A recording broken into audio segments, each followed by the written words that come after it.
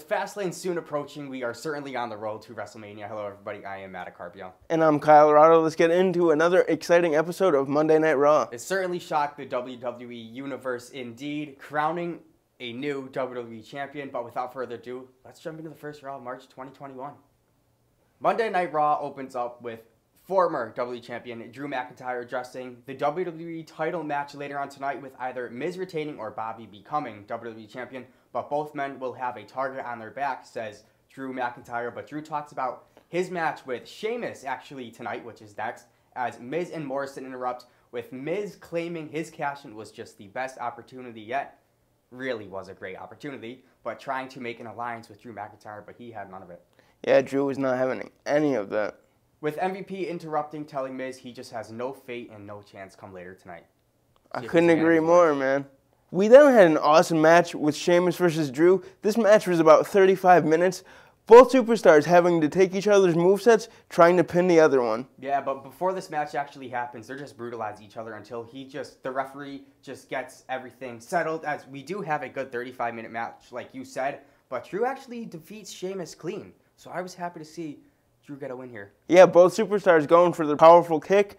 Drew McIntyre hitting that Claymore kick for that one, two, three. We then see still to be WWE champion Michael Mizanin backstage claiming he has cramps and diarrhea as Bobby just attacks him as Adam then moves the match an hour back into the show.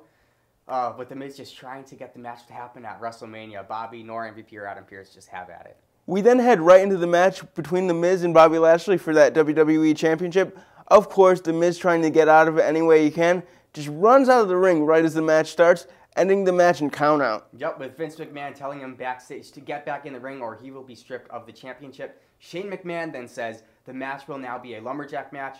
The Miz actually tries to cheap shot Bobby Lashley with his WWE title to end it in a DQ, but he doesn't. Bobby dodges. Miz does to try to escape the ring once again, but of course with those lumberjacks, I'm happy it was a lumberjack match. They threw him back in the ring as Bobby just applies the hurt lock, forcing Miz to tap out and your new WWE champion, oh, Bobby this Lashley. This is going to be interesting. Here comes Brock Lesnar, huh? Oh, man. We then saw Nia Jax take on Naomi, which was kind of odd. Both superstars kind of had a stare down before this match backstage. All that matters here is Naomi won with a pinfall. This match was kind of blah. It was a surprising win. Kind of happy she won over Nia Jax, but wasn't really that much needed. But Braun Strowman is then out yelling at Shane McMahon and Adam Pearce for just stripping him of his opportunities. What is he, Sami Zayn at SmackDown? But then uh, Shane actually tells Braun that him and Adam Pearce will fight Cedric and Shelton for the tag team titles tonight, so they can work together and go he's as a team. But it didn't work out that well. Yeah, Braun Strowman absolutely dominated the other two opponents. But then Shane McMahon tells Braun to tag in Adam Pearce.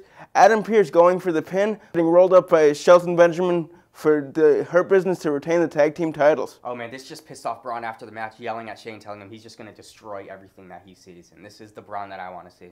I don't know about you, Matt. I think we're going to see a WrestleMania match between Braun Strowman and Shane McMahon. Look, looks like what they're trying to go to, but I can't. I just can't see it, Kyle. I can't. Oh, Shane's going to get absolutely oh. demolished. We then had the Lucha House Party team up with Riddle to face Retribution, Slapjack, and T-Bar. Yep. Well, Slapjack certainly just took a hard elbow drop from Gran Metalik ending this match. But then we see actually Mustafa Ali versus Matt Riddle next with his fellow team just taking an L, Retribution, prior to this match. Ali actually shows his team leadership skills as he defeats Riddle in a one-on-one bout with the Ultimate Bro. So you need to look strong here for Retribution. Yeah, I mean, I wouldn't call it the cleanest victory ever. He certainly had some help with distractions from his teammate Retribution.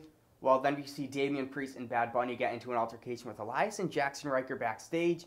Damian then actually faces Elias in the ring and beats Elias with a quick roll-up pin.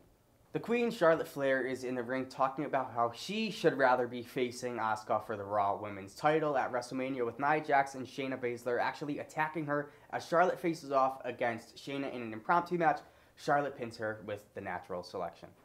Yeah, after getting beat up, making her look very strong here.